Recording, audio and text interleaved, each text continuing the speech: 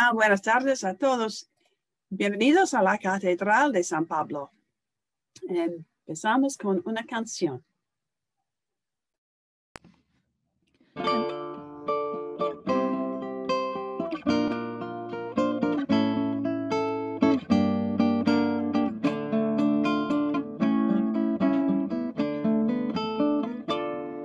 Cantemos al Señor un himno de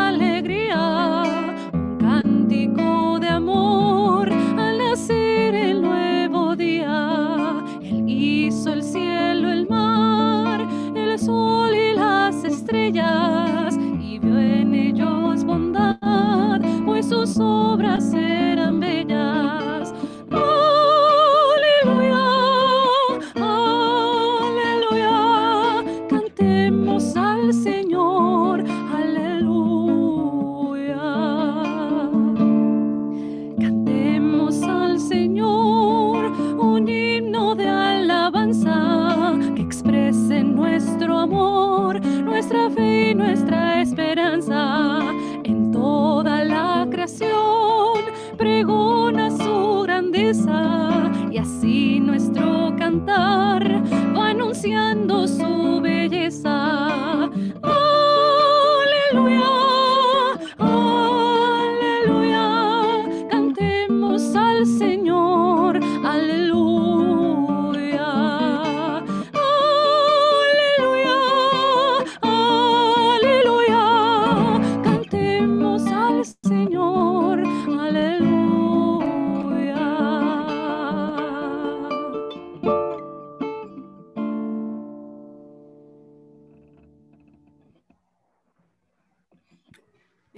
Cuando me dijeron, vamos a la casa del Señor.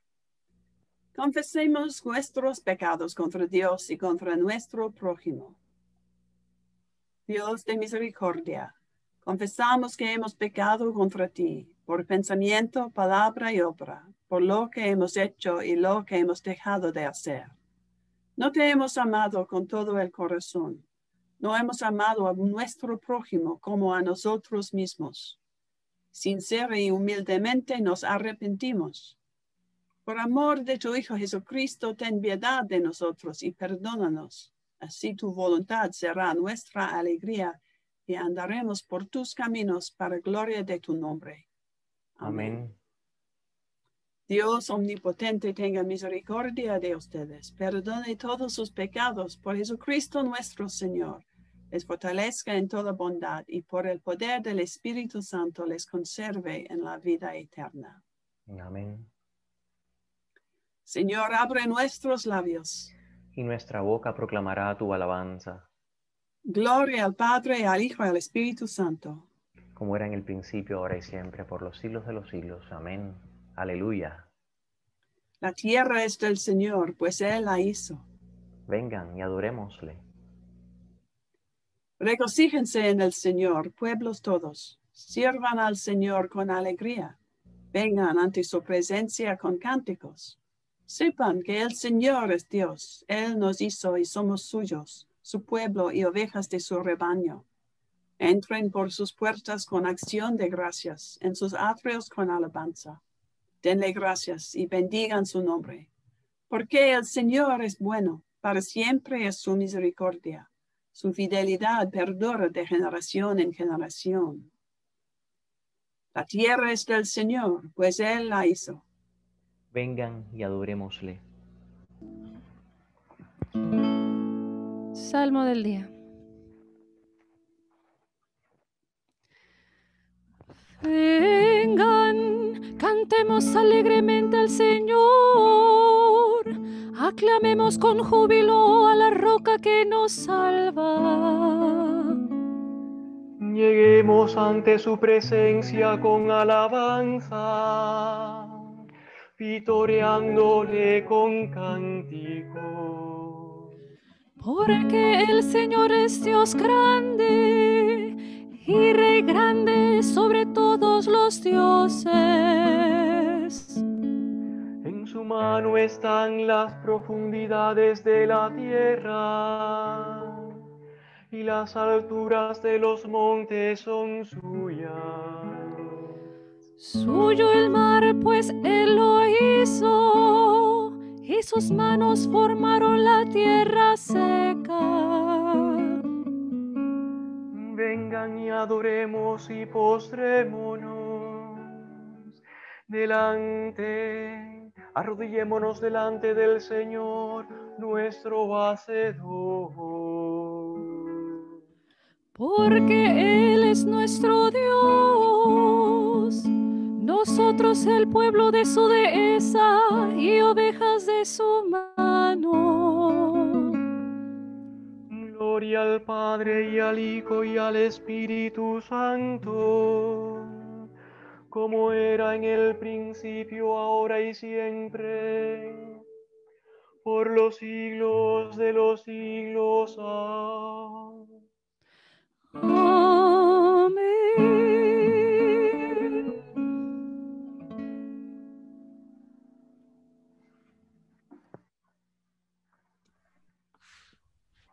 Lectura del libro del profeta Ezequiel. Yo el Señor digo, aquí estoy, soy yo. Vengo en busca de las ovejas. Yo me ocuparé de ellas como el pastor que se ocupa de su rebaño el día que se encuentre en medio de sus ovejas en libertad. Yo también me ocuparé de mis ovejas y las sacaré de todos los lugares por donde se dispersaron ese día de negras nubes y tinieblas. Haré que salgan de los otros pueblos, las reuniré de diferentes países y las conduciré a su propia tierra.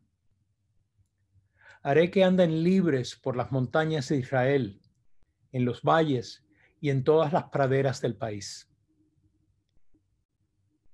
Sí, haré que anden libres en un buen potrero, en las altas montañas de Israel. Descansarán en un buen corral y se alimentarán en fértiles praderas de las montañas de Israel. Yo mismo me preocuparé de mis ovejas. Yo las llevaré a descansar. Palabra de Yahvé. Yo buscaré a la que esté perdida. Volveré a traer a la que esté extraviada. Curaré a la que esté herida. Reanimaré a la que esté enferma. Velaré porque esté sana. Las cuidaré a todas con justicia. Por eso yo, el Señor, les digo, juzgaré tanto a las ovejas gordas como a las flacas. Ustedes les han pegado a costillas y lomos, han corneado a todas las más débiles hasta echarlas fuera. Por eso salvaré a mis ovejas, las pondré a resguardo de los ladrones y juzgaré entre unas ovejas y otras. Pondré a la cabeza de ellas a un pastor único para que se preocupe de ellas, a mi servidor David. Él será su pastor. Yo, Yahvé, seré su Dios y mi servidor David, su príncipe. Palabra del Señor. Demos gracias a Dios. Lectura de la epístola de Efesios 1, 15 al 23. A los Efesios. He sabido cómo ustedes viven en Cristo Jesús, la fe y el amor para con todos los santos. Quiero decir, para con los hermanos, por lo que no dejo de dar gracias a Dios y de recordarlos en mis oraciones. Que el Dios de Cristo Jesús, nuestro Señor, el Padre que está en la gloria, se les manifieste dándoles espíritu de sabiduría para que lo puedan conocer. Que les ilumine la mirada interior para que entiendan lo que esperamos a raíz del llamado de Dios. Qué herencia tan grande y gloriosa reserva Dios a sus santos. Y con qué fuerza tan extraordinaria actúa en favor de los que creemos. Es la misma fuerza todopoderosa que actúa en Cristo cuando lo resucitó de entre los muertos y lo hizo sentar a su lado en el mundo de arriba pues está muy por encima de todo poder, autoridad, dominio y de toda fuerza o gobierno, más arriba de todo lo que cuenta en este mundo y en el otro. Dios colocó bajo sus pies, Dios eh, colocó todo bajo sus pies, perdón, y lo constituyó cabeza de la iglesia.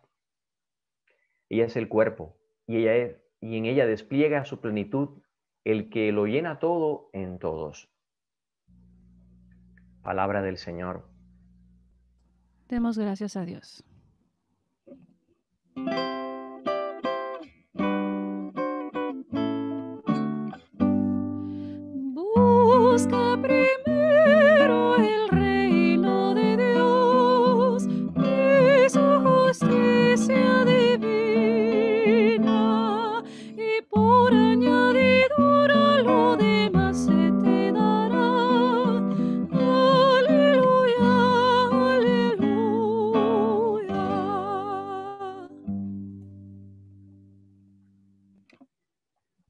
Lectura del Evangelio según a San Mateo.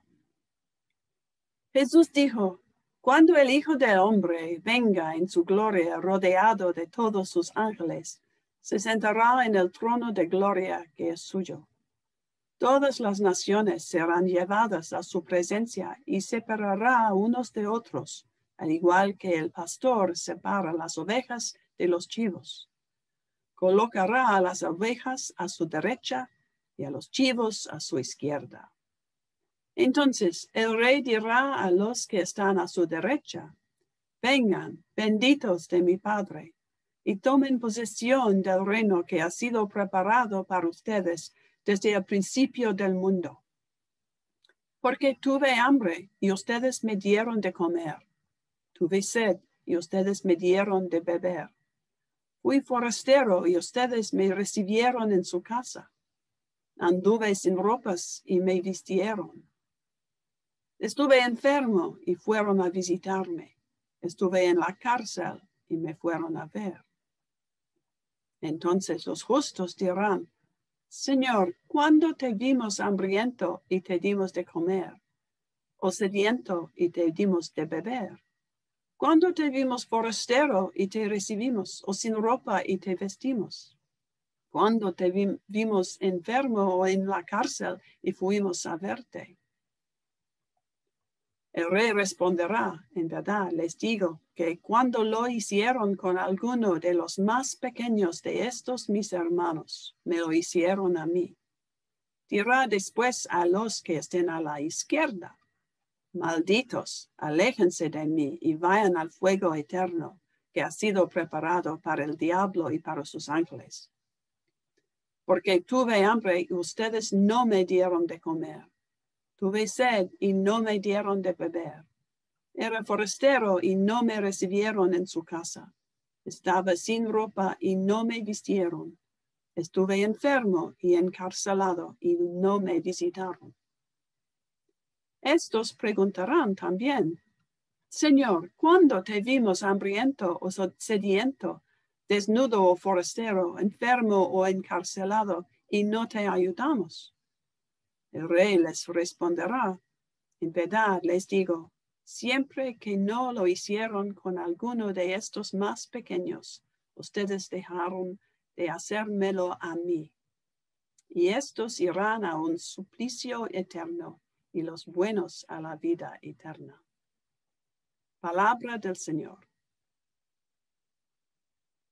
Demos gracias a Demos Dios. gracias a Dios.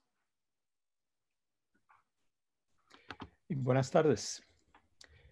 Hoy es el último domingo después de Pentecostés, con el que termina el año litúrgico. Y también es la fiesta de Cristo Rey, que tradicionalmente se celebra en el último domingo del año litúrgico. A partir del domingo que viene, comienza el tiempo de Adviento y la preparación para la Navidad. La fiesta de Cristo Rey nos quiere recordar que Cristo es el Señor, que Cristo es el Rey, evidentemente. Y lo es. Pero no es por hacer preguntas locas, sino por hacer preguntas que uno oye constantemente. Si Cristo es tan rey, tan poderoso, tan bueno, ¿por qué sigue este mundo tan marcado por la injusticia, por la desigualdad, por la violencia, etcétera? Parecería que nada ha cambiado. Si tanto es rey, ¿por qué sigue todo como si aquí fuera el demonio el que mandara? Parecería que nada puede cambiar. Parecería que otro es el rey y señor. Pero si pensáramos así, estaríamos ignorando lo más fundamental en el cristianismo. Si nosotros nos dejáramos eh, perturbar por la pregunta, estamos ignorando el desafío más grande que nos lanza el, el cristianismo. Lo más fundamental en el cristianismo no es que uno rece. Lo más fundamental en el cristianismo no es que uno haga cosas religiosas para irse al cielo. Lo más fundamental en el cristianismo no es evitar pecar, etcétera, etcétera, para irse al cielo. Nada de eso. Lo más fundamental en el cristianismo no es eh, decir de que, ay, Dios es todopoderoso. Dios no necesita que nosotros le estemos recordando que es todopoderoso.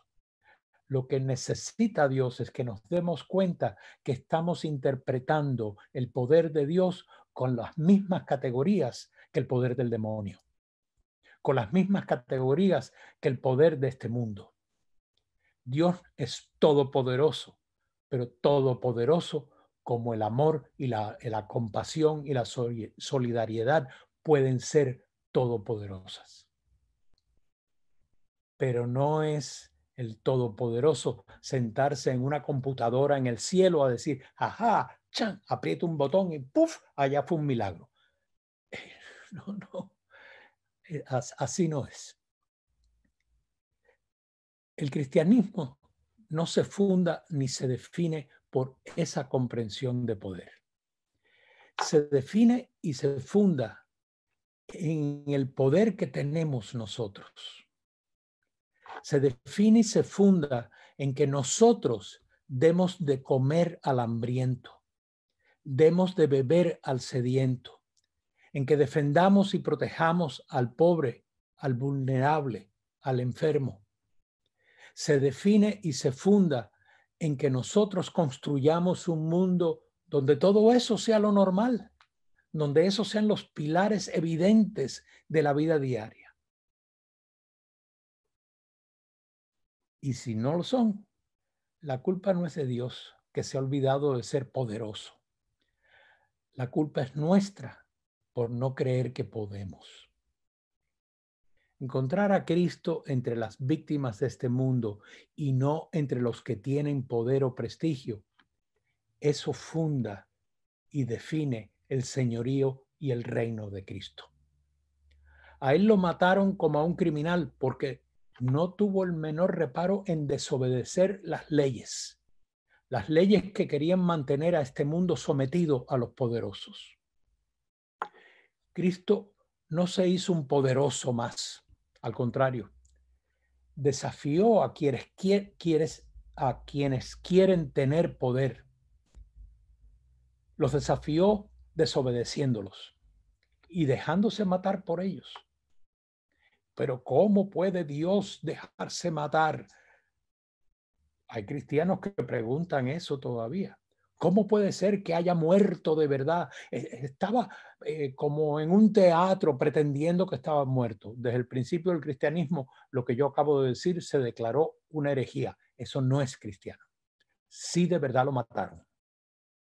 Sí de verdad Dios se hizo un humano, un campesino sin tierra, un vulnerable. Para mostrar el poder de Dios, no hay que buscar la medida eh, en el poder de los poderosos, sino que hay que buscar la medida en la transformación de este mundo desde abajo, para beneficio de los de abajo. Por eso Cristo se hizo campesino sin tierra por eso Cristo se hizo como los de abajo y pagó el precio de su vida, como pagan con sus vidas los, que están abajo y con demasiada frecuencia pagan ese precio. Queremos un mundo nuevo, un mundo donde podamos decir que, que venga el reino de Dios, que se haga la voluntad de Dios aquí en la tierra, como nos recuerda el Padre nuestro. Que venga tu reino, que se haga tu voluntad aquí en la tierra. Ya en el cielo lo está, eso a nosotros no nos corresponde, aquí en la tierra. Pues bien, nosotros podemos responder la oración del Padre nuestro, viviendo desde ya ese mundo nuevo, desde ya esa voluntad de Dios, en que, los, en que a los hambrientos no les falte el pan, en que a los sedientos no les falte el agua, en que a los pobres no les falte ni ropa ni techo, en que a los rechazados no les falte quien sea solidario con ellos. Un mundo que sea realmente nuevo, no porque Dios está sentado en una computadora en el cielo, aprieta un botón y ¡puf! un milagro. El milagro de transformar este mundo desde una nube no prueba el poder de Dios la prueba del poder de Dios es que nosotros, criaturas, nos demos cuenta de que podemos, de que podemos. Dios no necesita probar su poder, Dios necesita que nosotros probemos el nuestro. El milagro es que nosotros creamos y vivamos como nos enseña el Evangelio de hoy. Y aprendamos a ser solidarios, aunque nos cueste la vida aunque tengamos que desobedecer leyes humanas. Un mundo así realmente es el reino de Dios. Hay que desobedecer a quienes tienen el poder en este mundo para quitárselo y ponerlo a favor de quienes son como Cristo se hizo, los sin tierra, los sin techo, los acusados de violar leyes, porque vieron a Dios en las calles y en las víctimas del poder. Nosotros así seríamos las pruebas de que el poder de Cristo es justo y solidario.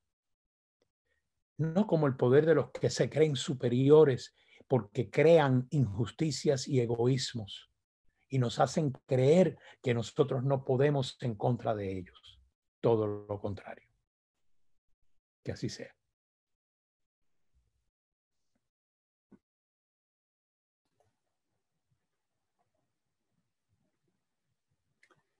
Creo en Dios Padre Todopoderoso, Creador del cielo y de la tierra. Creo en Jesucristo, su único Hijo, nuestro Señor. Fue concebido por obra y gracia del Espíritu Santo y nació de la Virgen María. Padeció bajo el poder de Poncio Pilato. Fue crucificado, muerto y sepultado. Descendió a los infiernos al tercer día resucitó de entre los muertos, subió a los cielos y está sentado a la diestra de Dios Padre. Desde ahí ha de venir a buscar a vivos y muertos. Creo en el Espíritu Santo, la Santa Iglesia Católica, la comunión de los santos, el perdón de los pecados, la resurrección de los muertos y la vida eterna. Amén. El Señor sea con ustedes. Y con tu espíritu. Corremos, cantemos.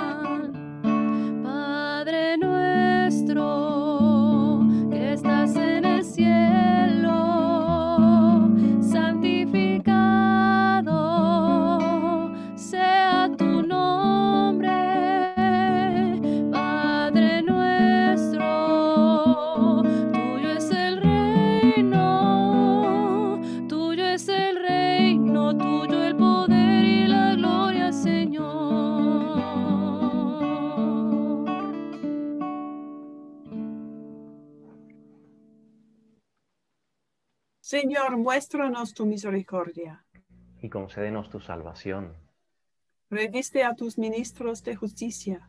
Que cante tu pueblo de júbilo, Establece, Señor, la paz en todo el mundo. porque solo en ti vivimos seguros. Protege, Señor, a esta nación. Y guíanos por la senda de justicia y de verdad. Que se conozcan en la tierra tus caminos. Y entre los pueblos tu salvación. Señor, que no se olvide a los necesitados. Y se arranque la esperanza de los pobres. Señor, crea en nosotros un corazón limpio. Y susténtanos con tu Santo Espíritu. Dios omnipotente y eterno, cuya voluntad es restaurar todas las cosas en tu muy amado Hijo, el Rey de Reyes y Señor de Señores. Concede de tu piedad que todos los pueblos de la tierra, divididos y esclavizados por el pecado, sean libertados y unificados bajo su reino de amor, quien vive y reina contigo el Espíritu Santo, un solo Dios, ahora y por siempre. Amén. Oración de los fieles. Padre, te suplicamos por tu Santa Iglesia Católica. Que todos seamos uno. Concede que todos los miembros de la Iglesia te sirvan en verdad y humildad. Que tu nombre sea glorificado por todo el género humano. Te pedimos por todos los obispos, presbíteros y diáconos. Que sean fieles ministros de tu palabra y sacramentos. Te pedimos por cuantos gobiernan y ejercen autoridad en todas las naciones del mundo. Que haya justicia y paz en la tierra. Danos gracia para hacer tu voluntad en todo cuanto emprendamos. Que nuestras obras sean agradables a tus ojos. Ten compasión de los que sufren de dolor o angustia. Que sean librados de sus aflicciones. Otorga descanso eterno a los difuntos. Que sobre ellos resplandezca la luz perpetua.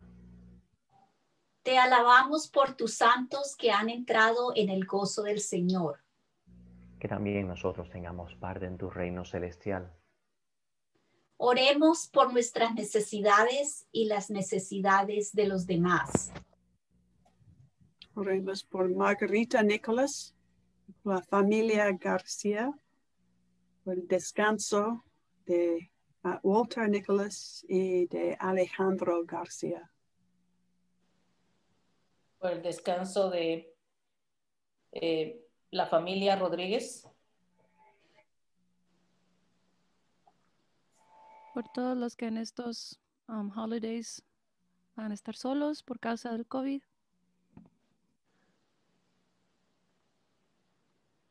Por el descanso eterno de la actriz Broselianda Hernández.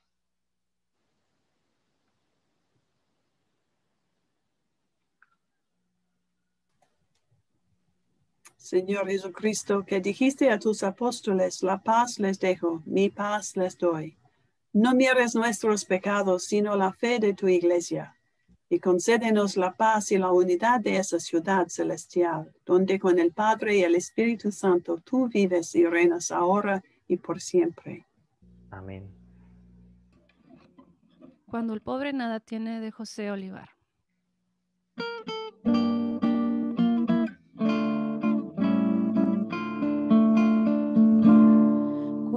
Pobre nada tiene y aún reparte.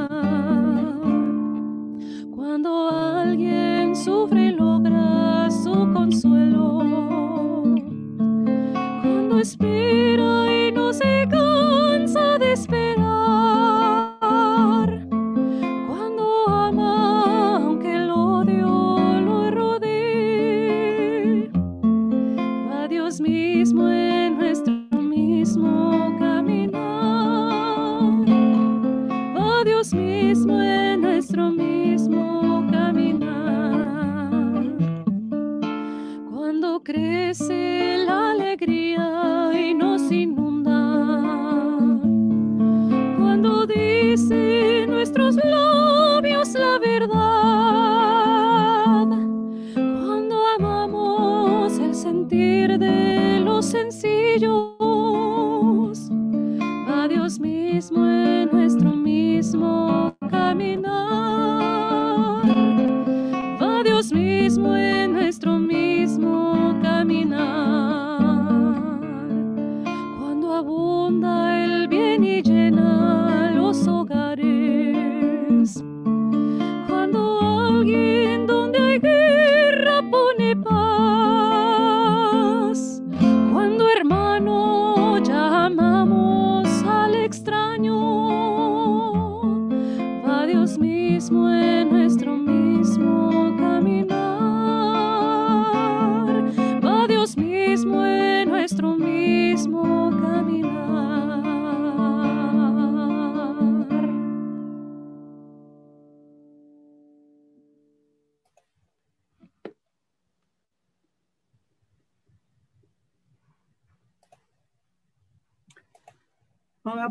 buenas tardes y bienvenidos a la Catedral de San Pablo en San Diego, nuestra comunidad virtual.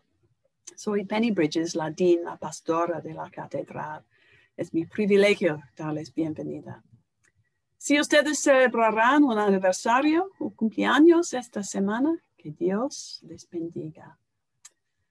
Eh, tenemos una exposición de regalos alternativos um, en línea este año. Um, en otros años es- está en um, nuestro salón grande en la catedral, pero, ahora es en línea en nuestro eh, sitio web, arriba de la página, página primera del sitio. Y está, está siguiendo um, hasta que el 13 de diciembre. Ah, y por favor, ah, de, ah, ver las, los regalos y um, los, los bienes um, y por- tal vez comprar algo. Tenemos un servicio corto el Día de Acción de Gracias en el Parque de Beth Israel a las diez y media. Um, y um, um, todos eh, son bienvenidos en, en el servicio. Y hay una, una grabación de los archivos también en línea. Ah, ¿Qué más? Ahora es, es el fin de la campaña de los, eh, las promesas para el año que viene. Um, y muchas gracias a todos que participaron y um, yo um, quiero bendecir las promesas. Oremos. Omnipotente Dios, cuya mano amorosa nos ha dado todo lo que poseemos. Concédenos gracia para honrarte con nuestros bienes y recordando la cuenta que- algún día tendremos que rendir, serte fieles mayordomos de tu generosidad. Por Jesucristo nuestro Señor. Amén. Um, ayer y anteayer, um, Marta y yo asistimos a una conferencia um, Border Summit um, con um, muchas personas, muchos obispos uh, de, um, del país, de, este país y de, de los países de Centroamérica. Um, y la semana que viene uh, yo voy a leer uh, la, um, um, ¿qué es? Un, um, um, un, um, dicho, un, um, un obra um, escrito por, um, por los obispos. Um, y Marta, um, ¿quieres decir más? Ah, no, solo que tal vez es bueno decirles la dirección del Parque Israel en caso de que quieran ir. Que Oh, queda sí. en la calle, sí, queda en la calle Tercera y la Nutmeg, ¿verdad? No, y Maple, tercera y Oh, Maple. Sí, a la Tercera y. Maple. Sí, en Sí. la calle Tercera y Maple, en toda la esquina. Está si quieren ah, atender a las diez y media el jueves a una oración con música de acción de gracias. Sí, muchas gracias. Y um, ahora oremos. Jesús mío, creo que estás realmente presente en el santísimo sacramento del altar. Te amo por encima de todas las cosas y te anhelo con toda, toda mi alma. Como ahora no puedo recibirte sacramentalmente, entra al menos espiritualmente en mi corazón. Te abrazo como si ya estuvieras ahí y me uno totalmente a ti. Nunca permitas que me separe de ti. Amén. La paz de Dios, que excede a todo entendimiento, guarde sus corazones y mentes en el conocimiento y amor de Dios y de su Hijo Jesucristo nuestro Señor. Y la bendición de Dios omnipotente, el Padre, el Hijo y el Espíritu Santo, sea con ustedes y permanezca con ustedes eternamente. Amén. Bendigamos al Señor. Demos gracias a Dios. Oye el llamado tradicional mexicano.